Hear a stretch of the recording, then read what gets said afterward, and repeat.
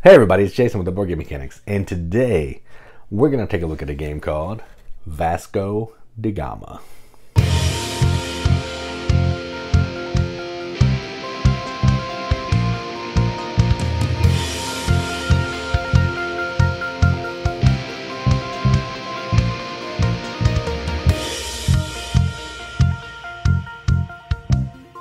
Vasco da Gama, at least my copy, is published by Rio Grande Games designed by Paolo Mori. He's done tons of games we love. We have lots of on our channel. Plays two to four players in 60 to 120 minutes. This game is also published by What's Your Game, but my version is not that. I got to use one in Rio Grande. So lots of different people publish this, but this is what I have. And what you're doing in this is you're taking on the role of a, an explorer or Vasco da Gama. I'm not entirely sure because I didn't read the rule book flare because I don't care.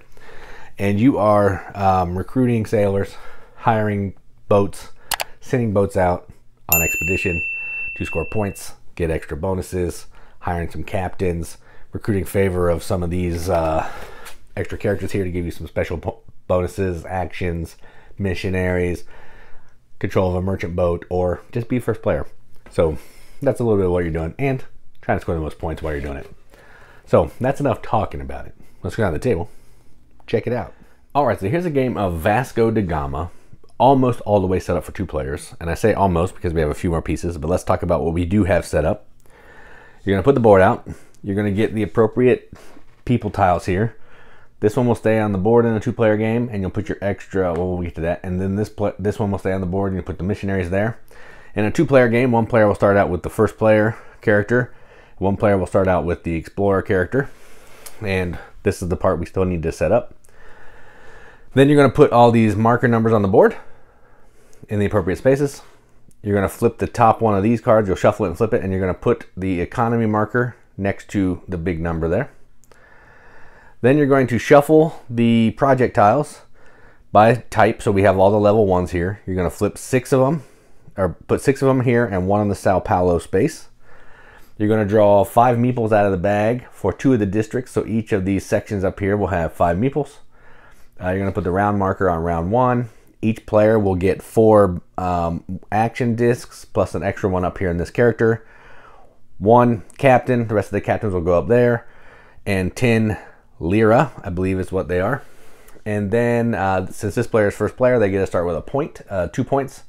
And then this player gets to send out the first ship to sea because that's this character's ability. And when they send it out, they don't get any of the points that you cover up. Normally you would get the points but they're going to get the bonus that's on the left, and I think they're going to put it here because they want to get a sailor, and they will take one of these gray ones. Uh, gray's easy. Let's take that one. All right. Now we're ready to go. Also, on this card, it's going to show you the available money options. Uh, nine here and four, so I can go to that space and get some money. Now, this is a worker placement game. And the way the game works is, on your turn, you're going to send out a worker and you're going to take one of these action numbers. Now, the reason these are important are because anything after to the right of this marker is free to use. So if I take the 16, I don't have to pay any money. The trick here is after all the action markers are taken, we're going to flip one of these cards and it's going to adjust the economy. It could go down, could go up. So it's going to make some of those that we thought were free maybe cost money. So it's a little bit of a push your luck thing there. It's not too painful. You might have to end up paying, you know, three, four, five coins. It can get expensive, but it's not the end of the world. And then you're going to send it out to one of the spaces. In a two-player game, we can use all the spaces that have the two little heads on the, on them. And then you're going to go. And then when uh, you're going to, after everybody's done that, you're going to start from one, go up to 20. When the number comes up, you take the action. If you don't want to take the action, you can put the, the marker back, whatever row you put it in. So if I put the six back, I would get some coins. And that's effectively how we go here. All right, so let's just, I'll explain it more as we go. Let's just go ahead and um, uh, do it. Okay, so this player's first. I'm to take an action marker and I am going to, I really want to get a boat, a project. So let's go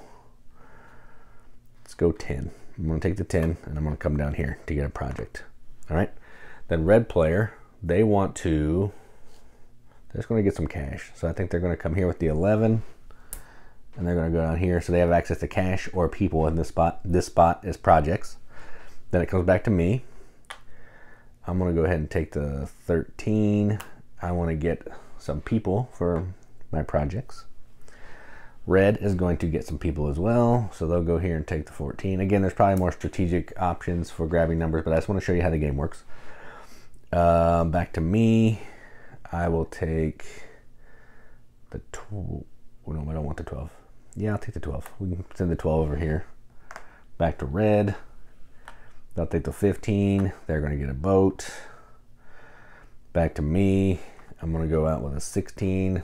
Set a boat out, hopefully. And then they're going to set a boat out as well with 17. All right. So now that we've done that, now we have to see what the new economy is. So we flip this. This is going to get plus two. Boom, boom. So some of the ones that we thought were going to be free are now going to cost us some money. All right, so now I'll show you how that works when we pull them off. So the first one that we've used is 10. So we'll find number 10, which is me. Now, in order for me to use this, I have to pay the difference between 13 and 10, which is three coins, which I will do. Otherwise, I wouldn't be able to use it. I could put it back and get two coins, but I'll pay it. And now, at this action space, I can pay one coin to take one of these, four coins to take two, or I can pay one coin times the number of crew members here to take this one. This one doesn't need crew. It doesn't need a, uh, it just needs a captain. Normally when I take these ships, if you see it, look at it here, this one needs three different colored crew members in order to get it out in the boat. And I still need to get those. But with this one, you basically pay the crew and they come on the boat. I think what I want to do, I'm going up there anyway. So let's do, I'm just going to take this six for one coin. All right, so I take that six for one. And now I have a project. I need to get crew members before I can load it up. I have a captain ready to go. Just need to get three different color crew. All right, now we're going to 11. 11 is red. They'll have to pay two coins, which they will, because they're going to use that 11 to take nine coins here, a big pile of cash, which is pretty nice. All right, then we're going to 12. That's me. I have to pay a coin because it's one less. Ooh. Yeah, I can't do that. I need my money. So I'll go up here and I get three coins from the bank. So you can forfeit the action and get the money based on what row your action marker's in. Then we're going to go to 13. 13 is me. I'm going to buy some crew. So the way the crew works is it costs one coin for one of all that color in a section. So for one coin, I could buy all these grays. For two, three coins, I could buy two colors, six coins, three colors, 10 coins, four colors. So what I want to do, I need three colors. So I'm going to pay six coins. And I'm to buy all these. It's three colors, but I get five crewmen, which is pretty nice. Five sailors. They all have different jobs, but now I'm good to get this boat up. And you can also buy a captain for one times the number of crew members that you got. I have five. I don't have enough to buy a captain, so I had to forfeit that. Or you can go there and just get a captain, not buy any crew, but I need crew. So then I'm done with that. Now we're on to 14, which is the other player, and they are still have to go to Sao Paulo or the projects. They only need two crewmen, so that works. So they're going to buy two colors, and that cost them three dollars. And they're also going to buy a captain, and that captain will cost them four because they took four crew members. The number of cost of the captain is one times the number of crew members. Now they have two captains. All right, 14 comes back. Now we're moving on to 15. 15 is red down in the project area. They have so much money. They're just going to take a couple boats. They're going to take this one and this one. Those are both fours, but it cost them four bucks. They have a lot of bucks. Done. All right. Then we're on to 16. 16 is me, so I get to send a boat out into the water. So what happens here is, in order to send a boat out, so I have a six point boat, I need three different color crewmen, so I'll do that. Three crew, th three different color crewmen, I put them back in the bag. There's a bag of all the sailors.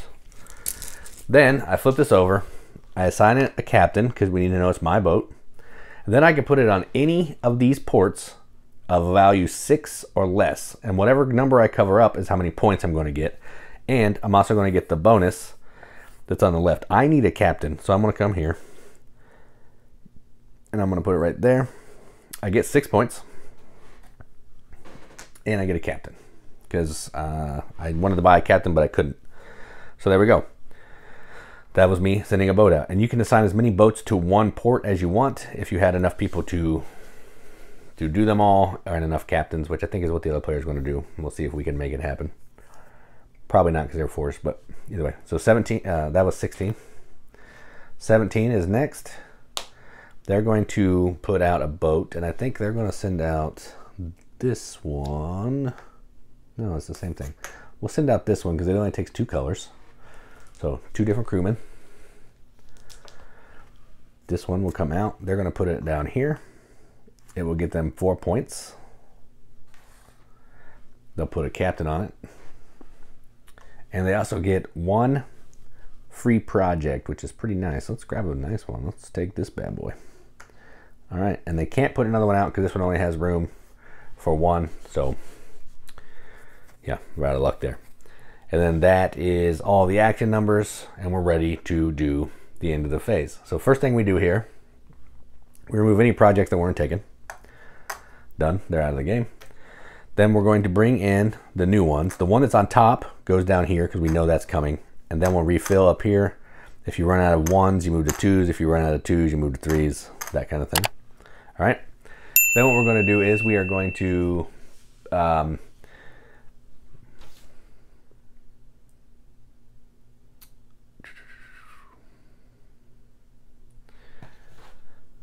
Whoever has control of the merchant is going to take this boat and they're going to send it out. So this player still has it. It's a nine. They want to. Oh, wait, before we do that, sorry. Uh, so that was the end of the action. Before we do the cleanup, so pretend I didn't do that, we're going to score points for our boats. Now, the boats will start exploring. That's phase three.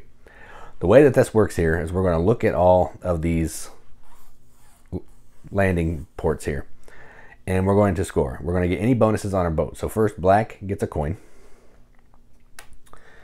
Red gets two coins. Then what we're going to do is we're going to look at ports that are closed, meaning completely full. If the ports are closed, the boats are going to move. Okay, so we start from top and we work our way down and then we go from left to right. So this one's not closed. This one's not closed. This one is closed. It's a four, so it's going to move up to either the same number or a less value value. So in this case, it has to move here. It's the only one available. And now this one is closed for next turn. But this one's open to be able to put something down there. All right. So now whoever has the merchant gets to put one of these boats out and gets the bonus. And I think they want to put this. They're just going to put it there. Take a coin. Then we flip another one. Okay. And then uh, now we're ready to clean up. So you do this, you send the boat out, and then we're going to um, slide this over, adjust the economy to five, because that's where it is. Get rid of these coins, put new coins down. So this one gets three, this one gets five. Take all the workers back.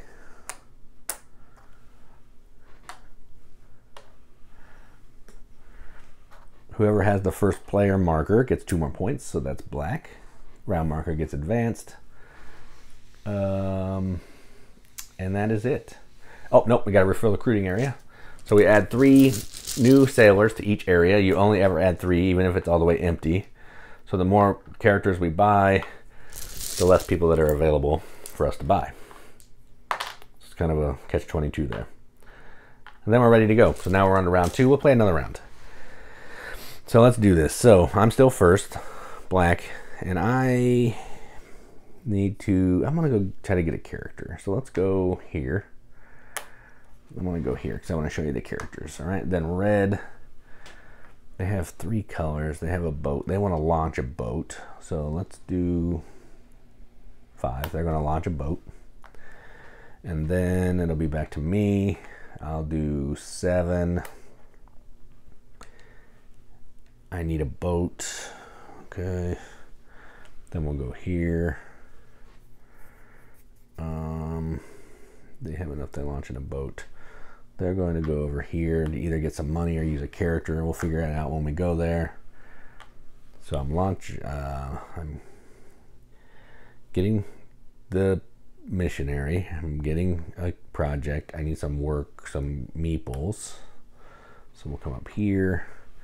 Red will also come up there. Uh, they don't need to go up there. They're going to come down here again. And then I am going to launch a ship. And red will... Mm, they'll go get another project. All right, so there we go. Now, we're going to flip the economy tile, see what happens. So it's going to move three. So one, two, three. So that stinks. All right. And now we're ready to take some action. So the first one is five. So we'll look and see who has five. That's red. If they want to take that action, it's going to cost them three lira, which they'll go ahead and do it. That's fine. And then they get a launch a ship, and they're going to launch this one. So it costs them three crew members. They have three different colors. They need three different colors. And they need a captain. They have a captain. And this can go out on a four. And they're going to go ahead and put it there. Actually, they'll go here because that'll give them a free captain. That's fine. They're going to lose the boat later, but that's okay. So they'll get a free captain and four points. Eight free captain. All right. Then we're going to go to six. Six is me. That'll cost me two bucks. That's fine. Uh, I'm going to go here and I'm going to take this tile. That gives me instantly a missionary.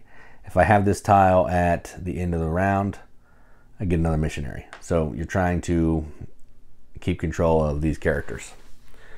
All right, then we're going on to seven. Seven is me again. Pay a coin, dang. Oof, now I gotta put that back. So I'll put the seven back, not taking action, and I'm going to take two coins. Then we're on to eight. Eight is a free one. So red is going to, they're to do this. They're to come here. They want to be first player. So they're going to go there. They're going to take first player from me. And that will give them two points and first player at the start, at the end of the phase. All right. Um, then we are on to nine. Nine is me. I'm going to buy some crew. I need two colors, so just three. So I'll, dang it, I don't, I'll take these two colors here. That cost me three coins. Okay, so now I have four colors because the missionary counts as its own color, which is nice. So in order to get a five color ship, you need to get a missionary. Then we're moving on to 10. 10 is red. And I think red is going to take five bucks. Then we're moving on to 11. That's me. I get to launch a ship. So, oh shoot. I didn't take a ship, so I can't do that. So I need to take three coins. Dang it. I didn't have enough money to buy a project, so that's what happens. So I gave up on launching a ship. And now 12 is out here, and they're going to buy a project. They want to get a big dog. They're going to take this one. Ooh, that's two big ones. Ugh. We'll do this one. And that cost them one coin. They could buy two. No, that's fine. They'll just buy one. All right, and that's that. And now we'll move the boats. So, anything, first the boats will pay out. So, black gets a coin. Red gets three coins. And um, any port that's full, the boats will move, starting with the left to right. So this one will move and it comes up to here. And then this one is out of the game and the captain comes back to the red player, which is pretty nice. Now we're moving on to round three, so we do that. We take our action disc back.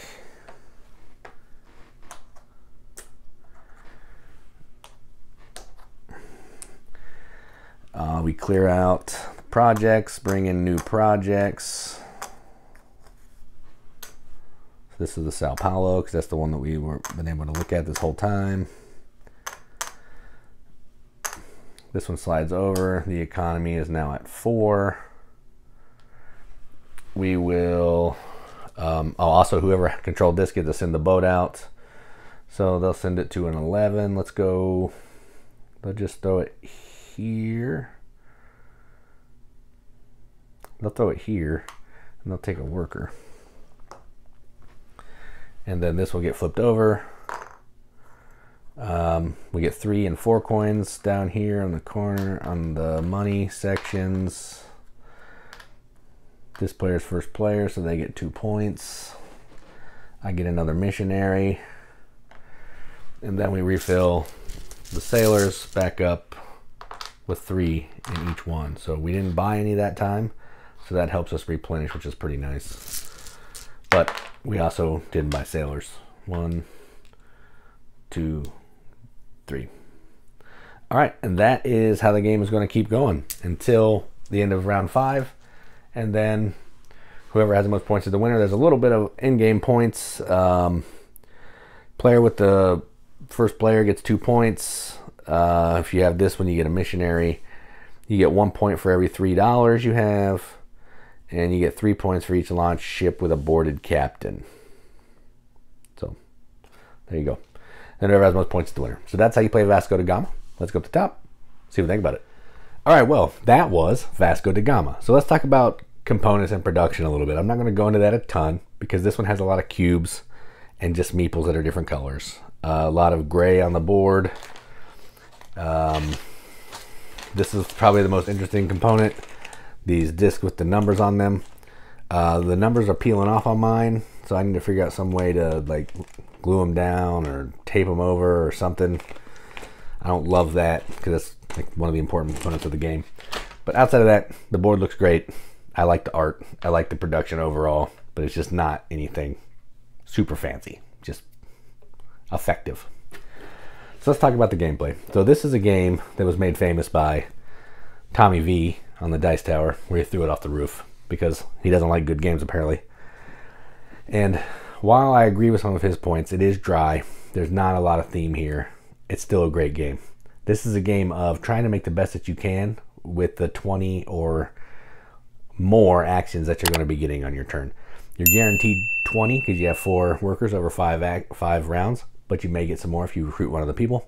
You're trying to get sailors, you're trying to get captains, you're trying to earn favor of the other characters, trying to put your boats out where you can get them to so they keep sailing up and scoring you more points and more points and more points and more stuff so much stuff to think about and really not a lot of time to do it. And that's the kind of Euro game that I like. This is not again, this is not one of the heaviest games from What's Your Game, the line, well, whatever, you know, that line of games.